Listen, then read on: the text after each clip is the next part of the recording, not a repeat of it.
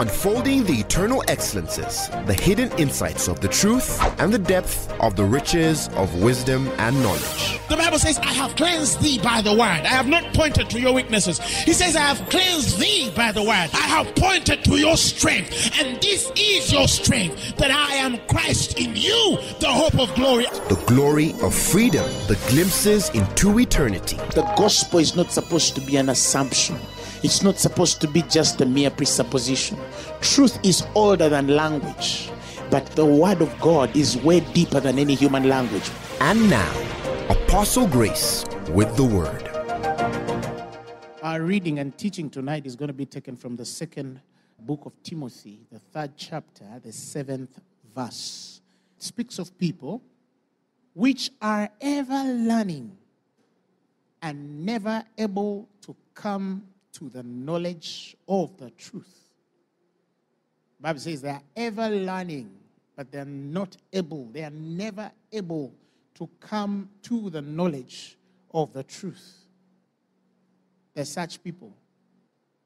And so, of course, the question is how does it happen? How does somebody ever learn but not come to the knowledge of something? Because it's evident they're sitting under a teacher, they're sitting in a class, the mind is educated, they're receiving information, they're seeing all that is necessary, they are observing everything that is happening in the ministry, in the church, but they're never coming to the knowledge of the truth.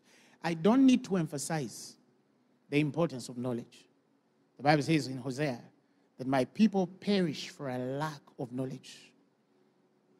They perish for a lack of knowledge.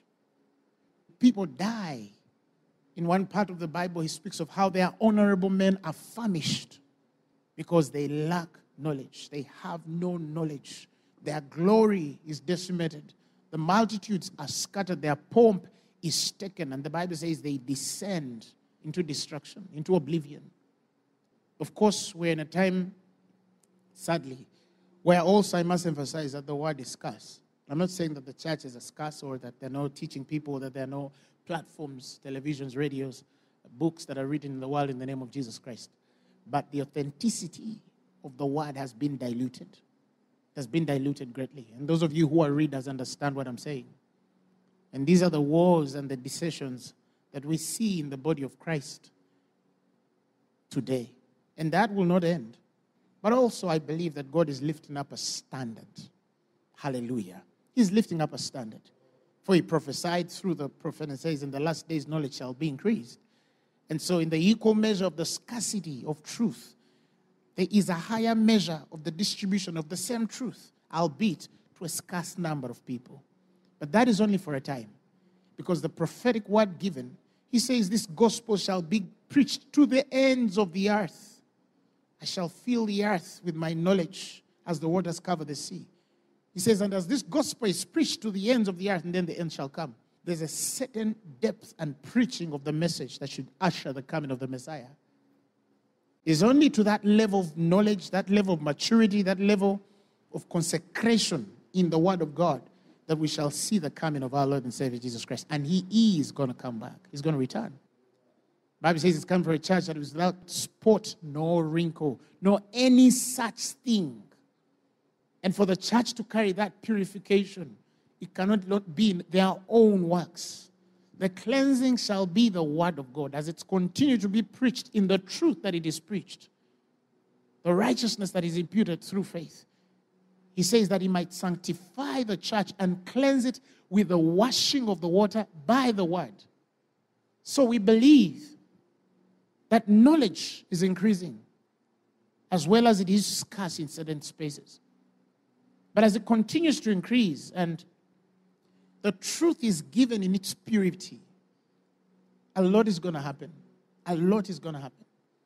I can't emphasize enough that the reason why we don't see the power in the church as we should is because we have left the way of truth. It's the beginning of our liberty. The Bible says, For you shall know the truth, and the truth shall make you free. We want to go beyond the giftings that we demonstrate. Yes, we've seen the sick healed, all manner of diseases. I have seen it. We've seen it in this ministry. We see it across the world. But it's not just enough to see the miracles and signs and wonders.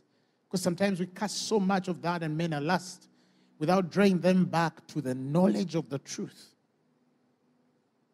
The Bible says that He wills that all men be saved and that they might come to the knowledge of the truth. He just didn't end in the space of salvation. Yeah, salvation is a good thing. But He says He wills that all men be saved, comma, and that they might come to the knowledge of the truth. That's the other side that we must touch. So, yes, much as say, oh, let's preach the gospel, people should become born again, Jesus is about to return. He wills that all men be saved, and in the same verse, comma, and that they will come to the knowledge of the truth. And in Timothy, again, he's saying, Second Timothy, that there are people which are ever learning, but they're never able to come to the knowledge of the truth. That is why some people surprise you. Somebody has been sitting under a wonderful teacher, a wonderful apostle, wonderful prophet, a wonderful pastor They've been taught for five, six, seven, ten years, 20 years, 12 years. They've sat under a very good, good minister, a fine teacher of the word. And then tomorrow they go away. They give into something. They fall into something. They do something. They say something. And you wonder did this person really, really come to the knowledge of the truth. And sometimes it's not that there's probably abused somebody or some, some could. Sometimes it, disaster comes, you know. Adverse things happen around this person, and then they react and respond to a circumstance as though they have never come to the knowledge of the truth.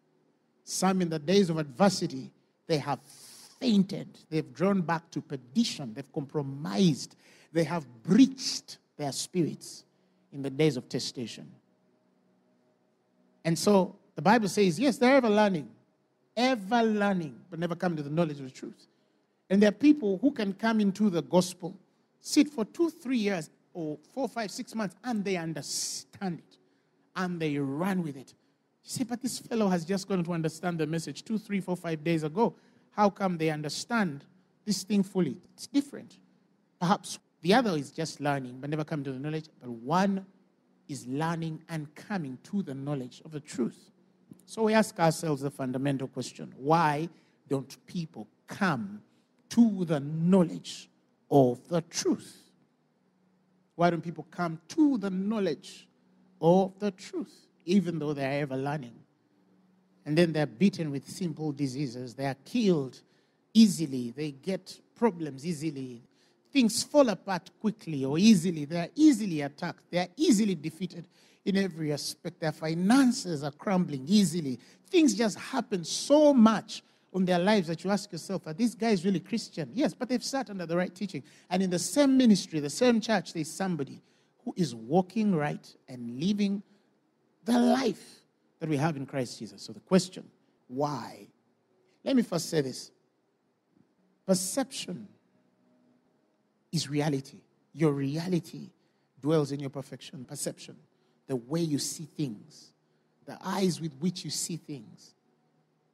And your reality is your world. You can never exceed the realities that are beyond your perception. The world that you're living right now is the world that has been provided for according to your level of faith, because we understand by faith. The Bible says that the worlds are framed by the word of God. By faith, we understand. It's an understanding of men which have alluded to the mystery of faith.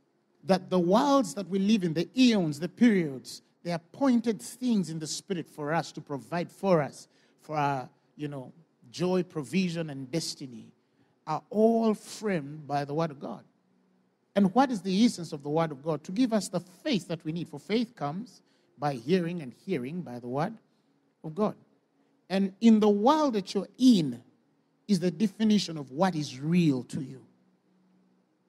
So I want to tell you that reality varies based on individual perception. There's a man going through something, it's so bad, that he's not going to sink in it. And there's a man going through the same thing, albeit in a light weight, in a light mode, in a more simpler attack of the same issue and he's going to die in the same thing. There's a man in the world right now who has been diagnosed with a stage 4 cancer, and that man is going to live a full life.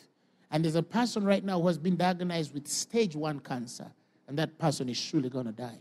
They have the same attacks, but one man's perception, one man's reality is framed, is shaped by his reason of faith and understanding to a provision of divine health.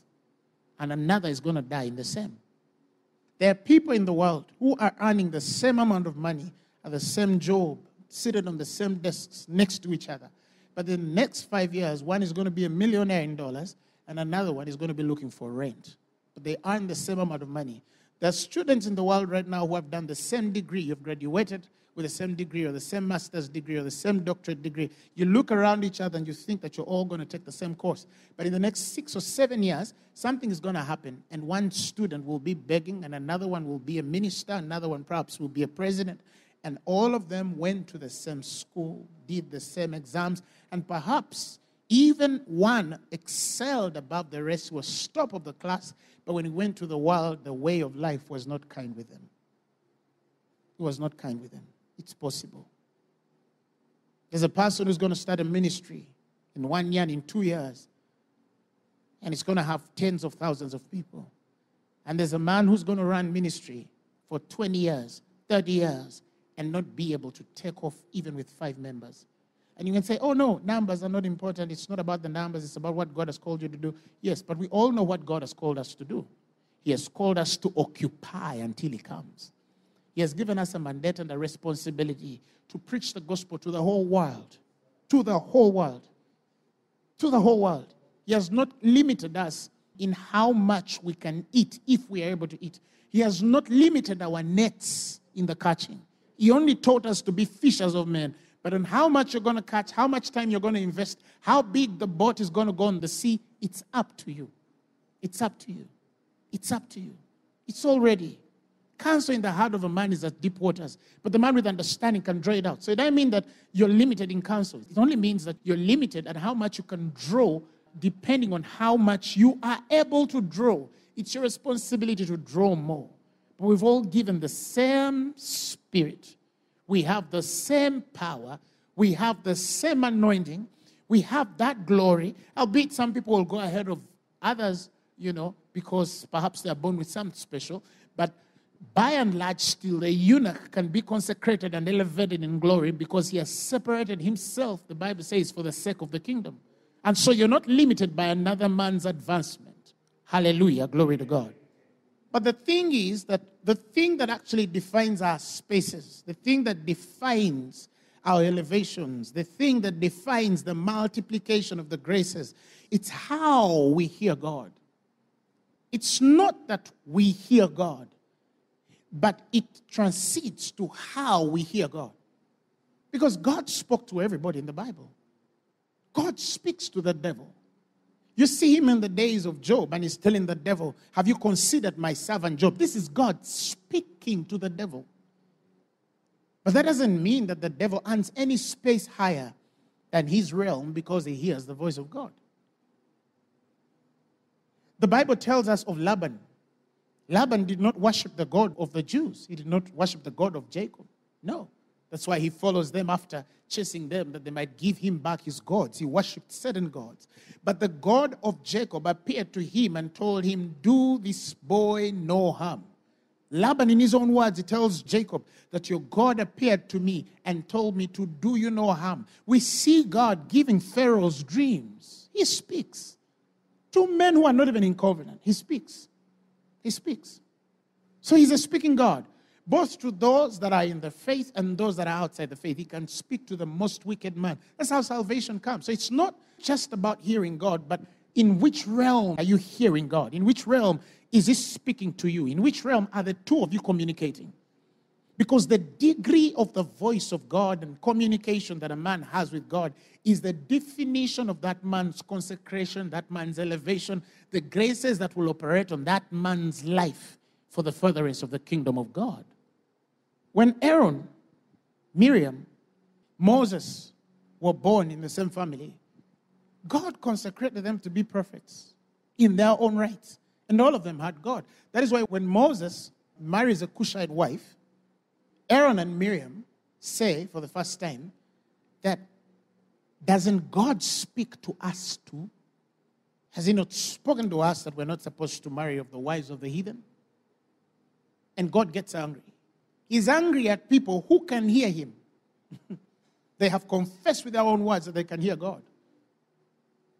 But they have lost a certain space. God does not speak with them a certain way. And then He asks them, Were you not afraid to speak of my servant Moses? And in Numbers, the 12th chapter, in the 8th verse, he speaks of how he speaks to Moses. He says, When I'm speaking to Moses, the Bible says, I speak with him mouth to mouth.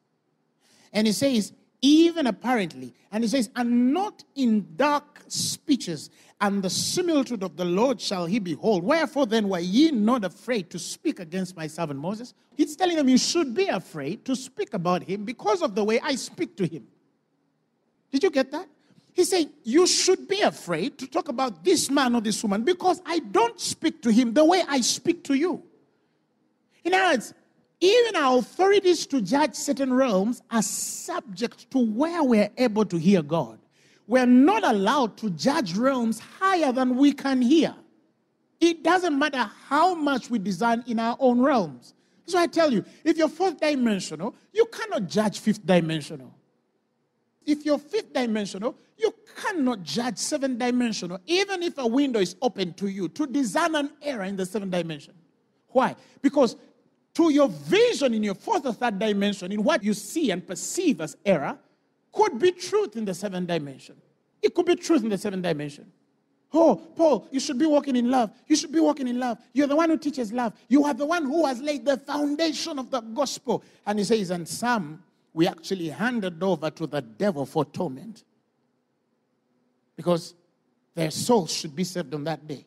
And so to lose both, we construct or punctuate something in the spirit for destruction of their flesh, that their spirit might be saved in the day of our Lord. Is that walking in love? Why would you hand a man over for destruction for the salvation of his soul? No, darling, you're speaking from a lower realm. You're asking from a realm that is so low to discern the things and the ways of the Spirit. But if you were a reader of the word, you'd understand that in love, Paul is seeing that if this man continues in the flesh, we will lose both. And there's the understanding that you should fear not one who can destroy the body or the flesh, but one which can take the soul. So he says, You know what? If I'm going to lose this fellow, if he continues in the flesh, I would rather hand over his flesh for destruction because then he will be given eternal life and he has a longer life to live. But in which realm do you even judge to give a man over? Which realm approves you to judge a man over? So not everybody has the right to do that. I see people who pronounce judgments that they are not qualified of realms to pronounce such judgments. And to know the difference, again, I say, is wisdom. It's wisdom. And that is why you see that when Jesus was speaking to men, when Jesus was communicating to men, was, is, will communicate to men. He used to speak to men according to where they're able to understand him. He speaks to men according to where they're able to understand him. He will always speak to men according to where they're able to understand him. It ain't go beyond that. It ain't go beyond that. I have many things to say to you, he says in John. But he says, but she cannot bear them now. So it's the desire of him to speak. But he says, no, but you are not able to bear them now. You can't carry them. So he says, you know what? Tarry. There's one which will come who will be available to help you teach you these things, take you step by step, because perhaps I designed for me to tell you these things, I need time to walk with you in the course of your understanding. And I don't have that time now because I'm about to go up in glory. And so he leaves the person of the Holy Spirit. That's why he says a primary ministry of the Holy Spirit is to teach you all things and to remind you that which you have forgotten. Why do men think that the primary ministry of the Holy Spirit is to move in the meeting? Why do men think that the primary ministry of the Holy Spirit is to open the blind eye and the deaf ear and the dumb speaking and raising the dead man? No, that is secondary. The primary ministry of this comforter, this paracletos, is to teach you. He will teach you. The Bible says all things. In other there is no limitation to the knowledge that you can access if you are available to access. Keke branda labaza kato jikatalapa. Kobrazate bojikete. Hosanda brete. Kori labazaba kozando robo zaba kashata. He says, I'm not limited to how much I can teach you. I am dealing with you according to how much you are able to receive from me, saith the Lord. According to how much you're able to receive from me. According to how much you are able to receive from me. That is why in Corinthians, the Amplified Version calls him the revealer of the bottomless things which are in God. So the things in him to reveal are bottomless. Are bottomless. The challenge is that in our dispensation, like I've already said, we're not contemplative. We don't have time to sit and search out a matter. When you read the man of Ecclesiastes, you hear a man using a language like, For I searched, I took my time to study the things that amuse the men under the earth. And this was a contemplative man. He took time, he searched, and I returned under the sun, and I saw he was a searcher of the truth, of the things of God. And as you continue to search, things are unveiled. So we're talking about the seeking of God. We're talking about seeking for your healing. If you're sick, we're talking about the seeking of the understanding of the mystery of divine health. You see the difference? There's one man seeking God for a job, there's another man seeking God for the mystery of divine provision. One is seeking for the charisma, the other one is seeking for charismatos. One is seeking for the gifting, the other one is seeking for the source of that gift. We cannot be equal because God will communicate differently to us. So we see that in Ecclesiastes 7:25 says, I applied my heart to know and to search and to seek out wisdom. I applied my heart to know, to search, to seek out wisdom. How often do you open your Bible to seek the truth? to understand wisdom, to connect with divine knowledge. See, so God will speak to you differently from the man who is not contemplative. That's just the way of the Spirit. In the Gospel of Matthew, the 13th chapter, we know the story of the sower sowing seeds, some on stony ground, some on rocky ground, some on the wayside, good ground, etc. And the disciples are disturbed, they are confused. This fellow is speaking in parables. The Bible says, Jesus, without parables, spake he not unto them. He was speaking to the people in parables. Disciples are disturbed. They're confused. Why is he always speaking in parables? In the 13th verse, Jesus says, Therefore, speak I to them in parables, because they seeing see not. They seeing, and I want you to hear, see not. That's number one. And hearing, they hear not. Neither do they understand. Which comes first? The seeing. If you see right, you will hear right. If you will hear right, you'll understand right. That's the order of the Spirit. You see? So he's saying, you see, they see, but they don't see. They hear, but they don't hear. They don't understand. And so, because of that, I'm going to speak to them in parables. We see God from the beginning of the world speaking to men in by words, in sayings, in adages, in proverbs, using stories, using riddles. Even the message version in that part where he says, And when I speak to Moses, I don't speak to him in dark sayings. The message version uses the word, I don't speak to him in riddles. Some receive riddles. We see the judges, Samson, speaking, communicating in riddles. God is speaking through Samson in riddles. That means if the people that God was speaking to in that time were able to apprehend the mystery of God as it is spoken, they would not receive God's message or instruction in riddles. So you see Jesus speaking in parables. In the 14th verse, he says, And in them is fulfilled the prophecy of Isaiah, which saith, By hearing ye shall hear, and shall not understand, and seeing ye shall see and shall not perceive. Underline the word there for perception. You shall see and not perceive. And it says, For this people's heart is waxed gross, and their ears are dull of hearing, and their eyes they have closed. Now I want you to note that. Here he says their heart is waxed gross, but it does not explain the cause or the reason of why the heart is waxed gross. And then he comes to the ears being dull of hearing, and it does not explain so much the cause of the dullness of this hearing. But when it gets to their eyes, the Bible says their eyes have closed. He didn't say their eyes are blinded. He says their eyes, they have closed. That means that there's a deliberation in a man knowing how to open their eyes to see the things they must see. Because here you see that the decision to open the eye is what opens up for the awakening of the heart and the aligning of the ear to hear the right way. Hello. Hallelujah. Praise God. So you see that it's as though we might not explain whether it was their choice for their heart to wax gross. We might not be able to understand whether it was their choice for their ears to dull in hearing, but definitely when the Bible says their eyes they have closed, that's a choice. That's why I said, most importantly, the eyes should be open because you have a choice on your vision, on what you choose to see. You have a choice on the definition of your vision. Again, I said perception is your reality. And it continues to say, lest at any time they should see, again, it begins with the vision, with their eyes, and hear with their ears, and should understand with their heart, and they should be converted, and I should heal them. I always love to emphasize the word should.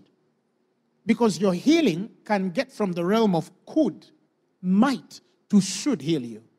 Your breakthrough financially can get from the realm of will, can, wants, to should provide for you, should deliver you, should elevate you, should promote you. God should increase you. God should multiply you. God should consecrate you. God should work for you. It's a should thing. But he's saying, here is the mystery. This is the thing. He tells his disciples or the people watching that if you've not understood this parable, how will you understand the rest of the parables?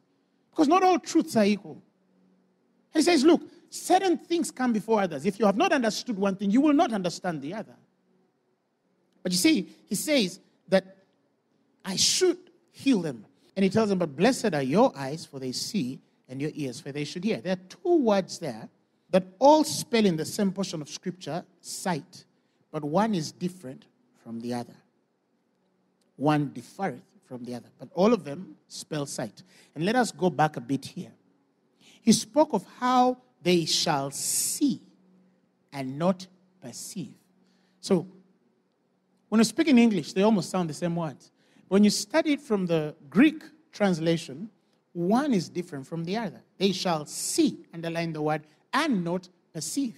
Because remember, the problem here, again, I said, begins with our vision, our perception. I insist, perception. So there are two Greek words here that are used. Now, when he says, and seeing ye shall see, the word there is blepo, meaning to see or notice or discern with your bodily eye. That means it's possible for you to see, discern, notice things, take note of you know, events and calculate things by your bodily eye, the eye of your body. A person who is blind in the flesh cannot say that they see with a physical eye. But if you see with a physical eye, that's exactly what I'm trying to talk about. That's blepo. But he says, but in seeing, blepo, they shall not perceive. And the word there is eido or idol. And eido is defined as a noticing, a discerning, a discovery into knowledge, into a sense of knowledge, a certain kind of knowledge, a perfect knowledge of things. So some people see with their bodily eye, but we're talking about the seeing to know. The seeing that brings a certain knowledge in God. That's perception. That the things you see, do they teach you? The things your physical eyes will see, do they instruct you? I read the Bible with my physical eye. But that doesn't mean that because I can cram scriptures in my head, it means that I can demystify the mystery of the person of Jesus Christ. There is a very clear nuance, a clear dichotomy, a clear chasm, a clear difference. It's like saying that because you went to theology school, therefore you are qualified to preach the gospel. I'm not against theology school. It's good to go to theology school, but not all who went to theology school can teach Jesus Christ. And not all who did not go to theology school cannot teach about Jesus Christ. You see what I'm saying? Because to see with your senses, with your normal eye, with your bodily eye, is different from the perception of the spirit. Ado. The knowledge of God that comes to you because of the things you will see. And here he's talking about another set of eyes because he's talking about the eyes of your understanding. You see in Ephesians, it says that the eyes of your understanding being flooded with light, you will know what is the hope of your calling, what are the glorious riches of inheritance of the saints, and what is the exceeding greatness of power that is at work within you, the same that he wrought when he raised Christ from the dead. You see, greatness of power comes from a door, the knowledge, the understanding, with the eye, the right eye the hope of your calling, the glorious riches of the inheritance of the saints. All of that comes when you have a unique eye. When you don't have that eye, you will ever learn but never come to the knowledge of the truth. That's exactly what it means. You will continuously learn, but you will not come to the knowledge of the truth. Sometimes we will even have experiences where what that eye of knowledge sees will not be able not only confirm but reconcile with what the physical eye will see. It will not be the first time we see such confusions, even in scripture. Paul speaks somewhere in Corinthians where he says, I know of a man. Yes, there are two men in there. But he says, But I know of a man. Second Corinthians, the 12th chapter, the second verse. He says, I knew a man in Christ. Now he's talking about the other fellow with the other kind of sight. He says, I knew a man in Christ about 14 years ago, whether in the body I cannot tell or whether out of the body I cannot tell. God knows. So yes, he says, in my flesh I might not be able to confirm the affirmations of the man who is in me, yet had a certain vision with God. And he says that that man was caught up in the third heaven. And he says, I knew such a man, whether in the body or out of the body, I cannot tell, God knoweth, how that he was caught up into paradise and he had unspeakable words which it is not lawful for a man to utter, was the amplified, which a man has no power to put in two words. And he says, Of such a one I will glory, yet not of myself will I not glory, but in mine infirmities. He's saying, There's a guy in me that can see certain things.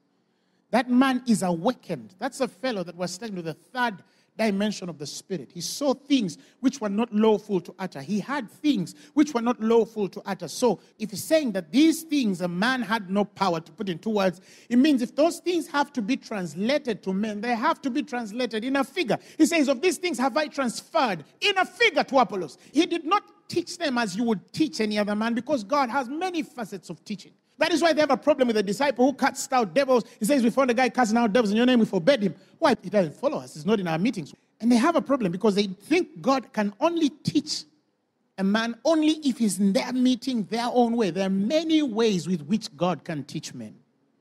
There are many ways with which God can instruct men. And you dare not judge a man because he did not go to your Bible school. You dare not judge a man because he does not attend your religion. You don't judge a man because he doesn't go to your church.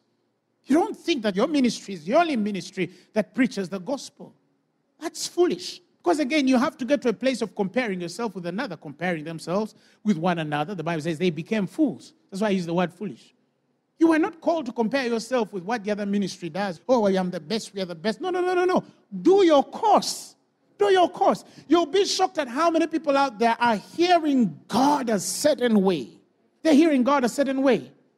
But again, there are people in the same congregation, the same faith, and the Bible says, who are ever learning but never coming to the knowledge of the truth.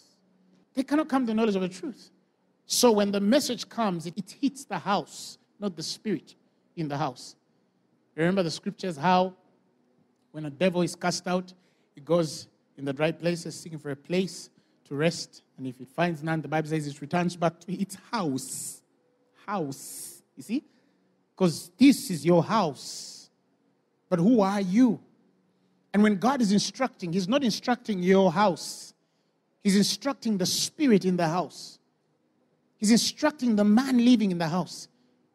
And that is why he spoke to them in parables. Why? Because we're not yet born again. So if they're not born again, how dare he preach the gospel to them? In a certain way. How can he give them a certain understanding? He says, For the carnal man, the Amplified says, the non spiritual man, he cannot receive neither discern the things of the Spirit, for they are spiritually discerned, they are estimated, they are compared, they are weighed spiritually. The natural man can't receive them. They cannot communicate to them. Flesh and blood cannot or does not inherit the kingdom of God. So when he's speaking to men of flesh and he knows that they're not yet connected to the awakening of their spirits because of the salvation of the soul is not yet there, he will speak to them in parables because that's the only way they can understand. That's how the men which were not yet born again were. A prophet had to come, God would help the king understand that it was wrong to kill Uriah and take over his wife. That's just how indifferent the fallen nature is. It doesn't matter how many books it has. It doesn't matter how many sciences it has. It doesn't matter how much exposure it has. It doesn't matter how much technology it has. The fallen nature is indifferent to the true knowledge of God. That is why you should never compare yourself with anyone who is not born again. They can't equal you, not in any way. They can be richer in the world, but they can't be richer in the spirit. They can't be wiser in the world, but they can't be wiser in the spirit. That's why we don't unequally yoke. Because if you unequally yoke, it means even in your communication, you're going to get so lost in conversation unless you choose to be callous enough to fall in the class of them which are ever learning but never come into the knowledge of the truth. But when you know the truth, the freedom and liberty that it brings to you will not allow you to sit in certain spaces, to engage in certain realms, to transact with certain altars. Why? Because there is a way you know God. He says you have an unction from on high. You know all things. You aid all things. You conceive all things. You connect to those things. And it's a space of faith because you are a child of God. Glory to God. And so we approach that space, by the way, by faith. By faith.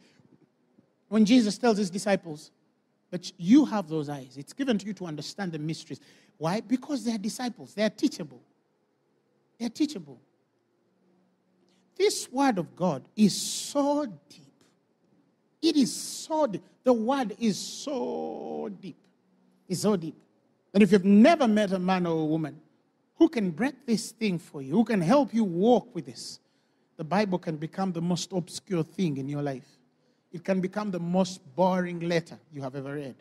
But oh, getting this thing with the right sight, getting this thing with the right experience of things, getting this thing with the right apprehension of the things of the Spirit. You'll be amazed at the things God will show you. That is why you see the man's heart panting, Wash my eyes with self that I might see. He's telling him, Open my eyes that I might see the wondrous things which are in your law. What is he thinking? What is he panting over? What is he asking God for? He's saying, I cannot go to the next level if I don't see the right way. I will ever learn, but I will not come to the knowledge of the truth. My eyes are blind. I don't see as I should. That's why when we're defining sight in the faith, spiritual sight, biblically, spiritual sight by the way of God, is the knowledge of the truth, not phone numbers, not dates of birth, not names. Oh, I see your name. No, no, we see those things Oh, or somebody's phone number or a number plate. That's not sight. Sight is when the eye is open to the knowledge of the truth, for it is eternal life, that you might know the one true God and his only Son, Jesus. Do you think God is interested in showing you a number plate, yet you don't understand Corinthians? In showing you a date of birth of somebody when you cannot interpret the book of Romans? You see? Why did he give you the word? Why did he become flesh, but as the Word. Why did He come as the Word? Why is He the Word? Because in there is the life. So I'm not against prophetic details. I've had some in my life. I've seen some who move in there. But after you do that, demystify the mystery Christ. Demystify the mystery Christ. Because it's only by the realm of truth that we can truly demonstrate God. I've opened this Bible and as I'm preaching, people are healed. I've opened this Bible, and as I'm preaching, people are filled with the Holy Spirit. I've opened this Bible, and as I'm preaching, people are slain in the power of the Holy Ghost. It's not that they don't want to compose themselves. No. But every time you demystify a mystery, you're breaking into certain realms. Deep calleth unto deep. And so, as God is breaking certain realms for you, some depths are broken for you to get into deeper depths. And as it continues launching you deeper and deeper and deeper and deeper and deeper, so the anointing as well is stirred because the person of the Holy Spirit is available for the manifestation in the physical realm of anything that the word is able to command. Remember, in the beginning, the word of God was hovering over the earth, and there was nothing the Spirit of God could do until God said, Let there be. Let there be.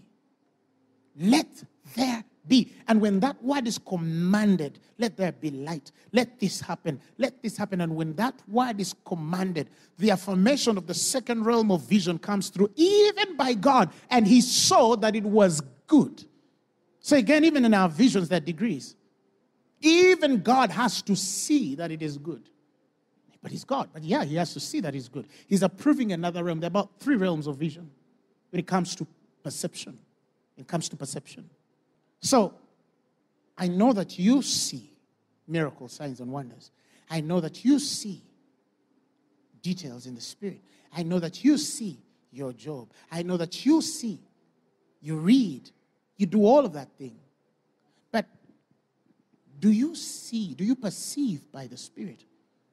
Do you perceive by the Spirit? Do you really perceive by the Spirit? Because if you don't, you will never come to the knowledge of the truth.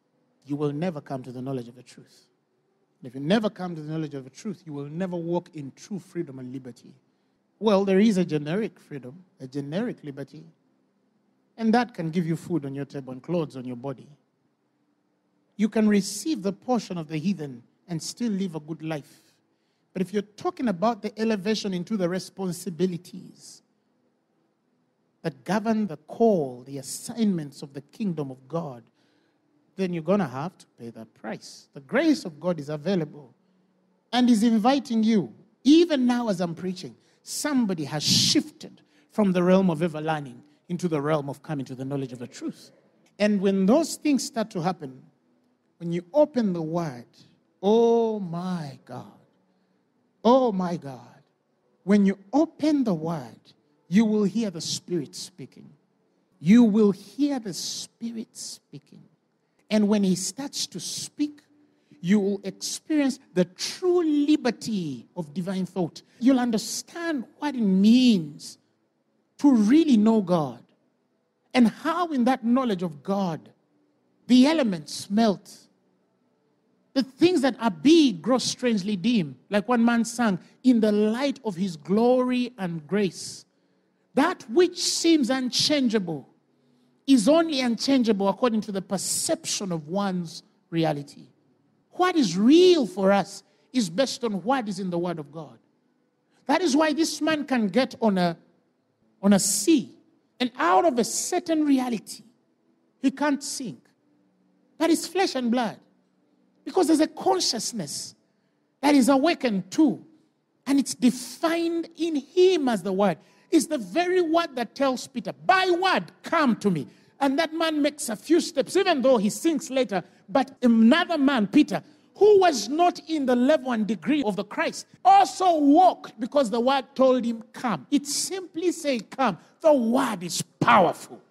It makes him rest in a time where death is, and he says, uh uh-uh, uh Lazarus' sickness will not end in death. And he gets the news that the man died, and he does not worry whether they will judge that he prophesied wrongly, but he is certain that he is the resurrection and the life. And if he walks to that tomb, that body has to come out. That is the power of the word. Paul says, I'm not afraid, ashamed of the gospel, for it is the power of God unto salvation, both to the Jew and to the Gentile. It is the power of God to the Jew and to the Gentile. It's the power of God to the Jew and to the Gentile. Thank you, Holy Spirit. Thank you, Lord Jesus.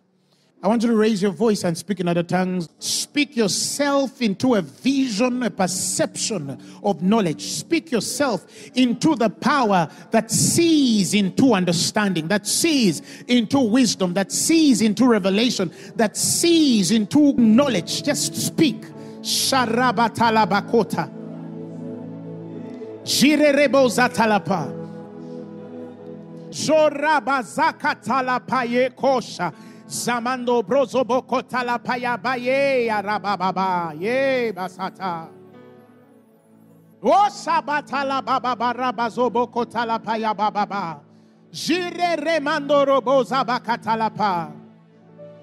Jarababa koshatalapa yarababa. Robo ziketele payaraba. Zobaya bakota sotelepa. Oshilelebaya. Mosabra katalapa. Julo robo. Praise the Father. Praise the Son. Praise the Spirit. Three in one. God of glory, majesty, praise forever to the King. Oh, of kings, Shapatalabayerebo. I love you, Lord. For your mercy never fails me. All my days have been held in your hand. From the moment that I wake up till I lay my head, oh, I will sing Shababarababa of the goodness of God. I pray for you right now in the name of Jesus that may God give you understanding in the things you read. May God give you knowledge in the things you see. May God give you revelation in the things you encounter. May God give you understanding in the things that come to your notice, in the things that align to your discovery, in the things that connect to your learning.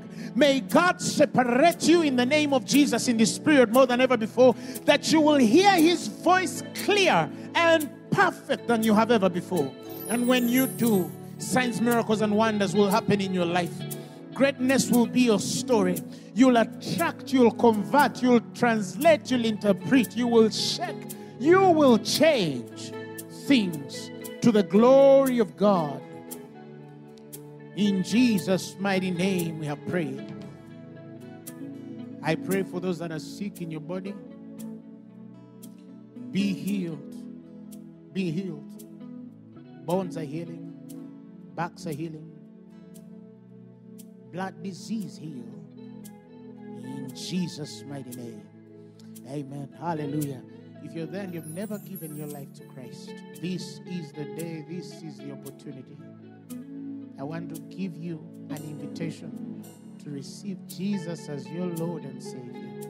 And if you have never received Him, I want you to say, Lord Jesus, I thank you for my life.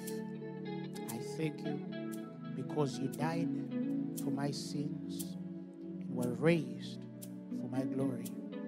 I receive you as my Lord and Savior. The message you have just heard was brought to you by Phaneroo Ministries International. For more information, contact us on telephone number 041 466 4291 or email us at phanerookampala at gmail.com. You can also find us on the web at www.phaneroo.org. Or better still, feel free to join us every Thursday for our weekly fellowships at Uma Multipurpose Hall from 5 p.m. to 8 p.m. You can also catch the live stream at livestream.com slash Phaneroo. Phaneroo, make manifest.